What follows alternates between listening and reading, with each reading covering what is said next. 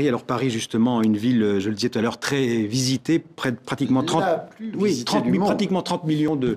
Hein, le chiffre est correct? Ça prouve bien qu'il ne faut pas il faut être très ouvert aux autres et, mélanger les cultures parce que si Paris est tant aimé dans le monde et que c'est la ville la plus visitée du monde, c'est sans doute parce qu'elle a justement ce côté cosmopolite. justement, une, ville de culture, une ville d'histoire, de monuments, de, musées aussi, mais une ville chère surtout pour ceux qui habitent, avec des... Moins que ses concurrentes sur le plan économique, que sont New York, Londres ou Tokyo. Enfin, pour ceux qui vivent, donc est-ce que ça veut dire quoi? Il n'y a pas assez de logements à Paris, il n'y a plus assez de place pour en construire des nouveaux? C'est un peu la spéculation si on, peut, on peut faire des choses. D'abord, nous, nous finançons 70 000 logements sociaux en deux mandats, ce qui veut dire qu'il y aura 20% de logements sociaux dans deux ans. C'est beaucoup. Mmh. Deuxièmement, Paris avait perdu beaucoup d'habitants, 170 000 habitants dans les 15 ans qui ont précédé mon élection. Paris a, regagné 110 000 habitants, mmh. la population a rajeuni et il y a beaucoup de familles de 2-3 enfants, des trentenaires, des quadragénaires.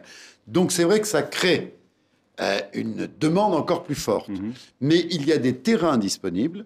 Moi, j'avais fait une liste pour le Premier ministre, M. Fillon, de terrains que je voulais acquérir mhm. pour faire du logement. Il a refusé. Et je compte beaucoup sur François Hollande, qui dit qu'il les mettra à la disposition des communes. Quel était le motif de son refus au Premier ministre? Parce que le gouvernement se comporte de manière conservatrice et spéculative. Par exemple, j'essaye d'acheter des terrains, mais il comment dire, il pratique des, prix de promoteurs.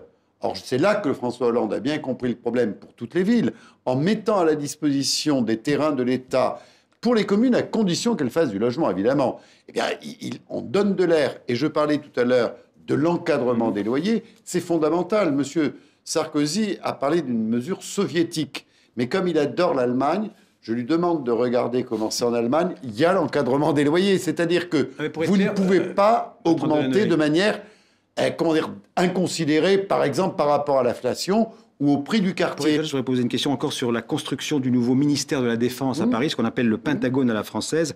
En deux mots, ce sont 16 hectares dans le 15e arrondissement qui devraient accueillir à terme en 2014 9300 militaires et fonctionnaires. Euh, est-ce que vous êtes opposé à ce chantier?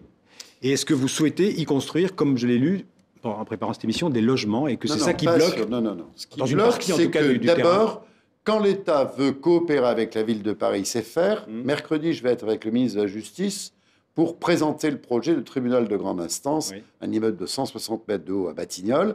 Et là, on a travaillé ensemble. Mmh. Sur la Philharmonie, à la porte de la Villette, on a travaillé ensemble. Mais là, sur le Pentagone, le gouvernement de M. Fillon a voulu passer en force, une fois de plus, mm. faire preuve un peu d'abus de pouvoir et écraser les euh, réalités locales. Donc, je dis, je m'opposerai à ce projet aussi longtemps qu'on n'aura pas mis le garage à bus, pardonnez-moi, mm. qu'il faut mettre dans cette zone qui est très compatible avec le ministère de la Défense, parce que je dois faire 500 logements sociaux dans le 15e, il y a un garage à bus sur l'emplacement. Vous voulez récupérer ce garage à bus à la Croix-Hiver exactement. Mais je ne voudrais pas que nos téléspectateurs d'Asie, d'Afrique se disent que nous sommes un peu localistes.